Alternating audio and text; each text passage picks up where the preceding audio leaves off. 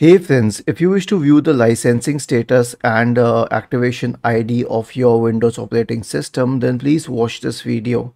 Okay, we have third-party software products and all, but I'll give you a very good command for it, which is slmgr.vbs space forward slash dlv. So copy this, open the command prompt window, just the normal one, not the elevated one. And then once you open it, paste it here and hit enter and wait it will give you all the licensing status and everything okay? It will uh, tell you whether the product key is genuine but it won't give you the uh, complete product key. It will say that the license status is licensed and uh, the trusted time is also given here. And uh, it will give you the version number and the activation id and the application id as well okay? It doesn't give the complete installation key though.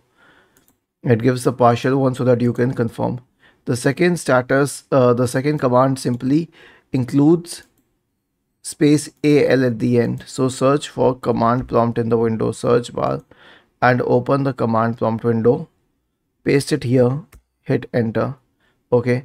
And now it says that uh, product key not found. Now I'll tell you why it says that because I use an OEM product key.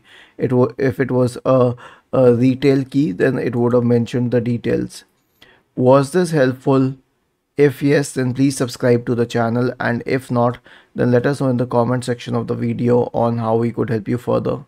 Thank you for watching this video and have a nice day.